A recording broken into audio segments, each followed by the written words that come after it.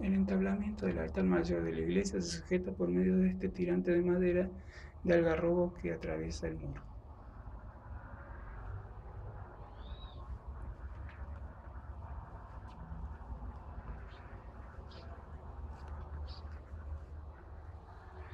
Por este vano también se llega a la espadaña y la cubierta de la iglesia. Desde aquí se aprecia el volumen de la cúpula y sus ventanas ovales, ovales abiertas en el casco. La reja es actual réplica de las originales de la residencia.